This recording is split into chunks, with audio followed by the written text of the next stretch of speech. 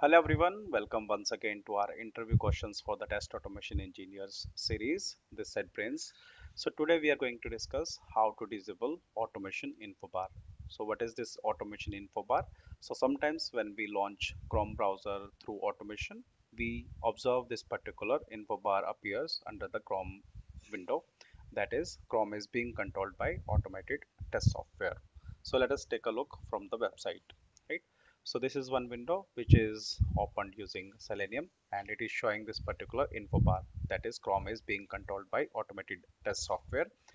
So sometimes there is a requirement to disable this particular uh, info bar. Why?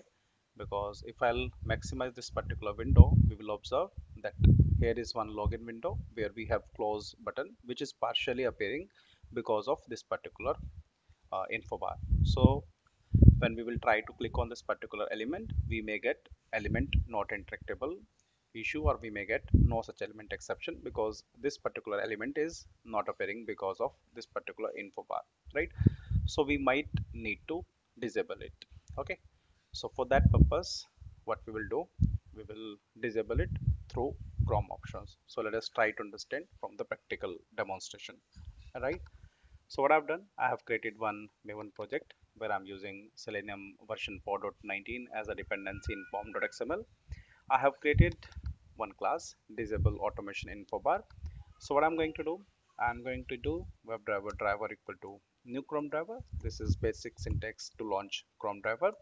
Next thing is driver dot get and I'm going to provide this particular makemytrip.com and I will try to launch it right so first I will show you the problem statement then we'll launch it through automation right?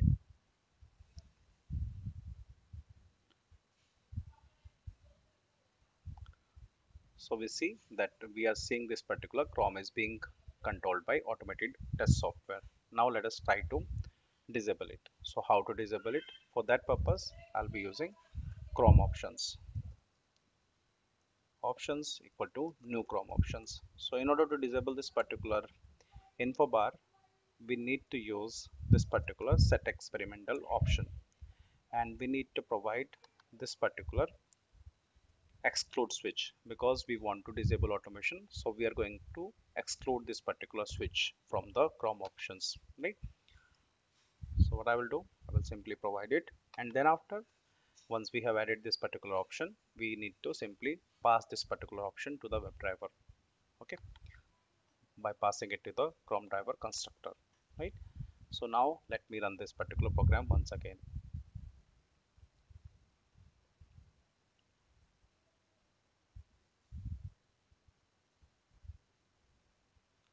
So you see that this time we are not seeing that particular info bar right?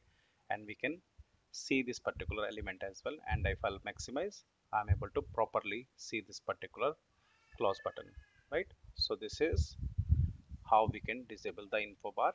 And this is what I wanted to cover as part of current video. We'll be using this particular feature in the next video. Thank you for watching. I would request you to please uh, like share and subscribe. Thank you once again